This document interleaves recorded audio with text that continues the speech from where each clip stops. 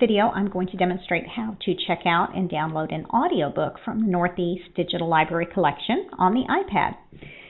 Just like checking out ebooks, you need to have the correct app installed, the Overdrive Media Console app, and you do that by going to the App Store, typing in Overdrive in the search box, and then this is the app, the Overdrive Media Console. This one's for the iPad. And I already have this installed on this particular iPad. So it says that right here. Otherwise, it would be a green button. It would say free. You click on that, click install, and away you go. So I'm going to go back to my home screen and back to the Overdrive console. I'm going to open that up. And again, if you've not opened this up before, you're going to click Add a Library. You're going to search for any NEISD.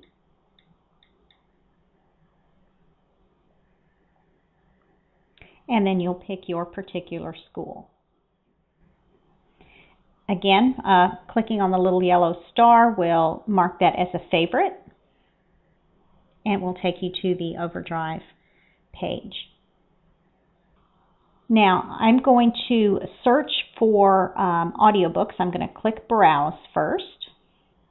And I'm going to browse for MP3 audiobook titles. Because I'm on the iPad, this is smart. It knows that that's the only kind of audiobook that format that I can check out on this particular device.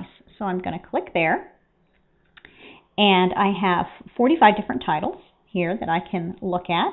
And this is a growing collection. It's brand new now, but it will be we'll be adding all kinds of titles to it. So when I find an audiobook that I'd like to check out, I can again click on the title if I'd like more information. And I can even get a sample of it. And I can click right here to add it to my cart. And then proceed to checkout. One thing again you'll need to remember is since I'm on the iPad, I can't change the lending period. I would need to log in to Overdrive on a PC or Mac and go into my account and change my default lending periods there. So I'm going to go ahead and proceed to checkout. And here's where you need to enter in your either student ID or teacher employee ID number.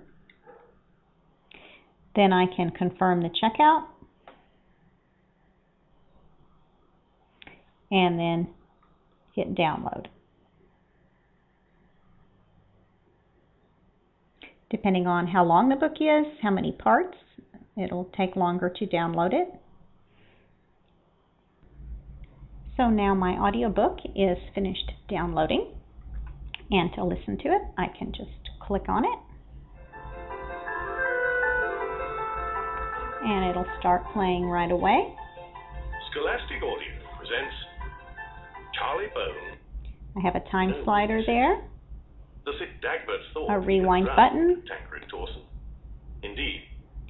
And there's lots of other features, and you can find uh, how to use the audiobook player for the Overdrive Media Console app on the Northeast ISD Overdrive main page and we hope you'll enjoy downloading audiobooks from the NEISD Digital Library.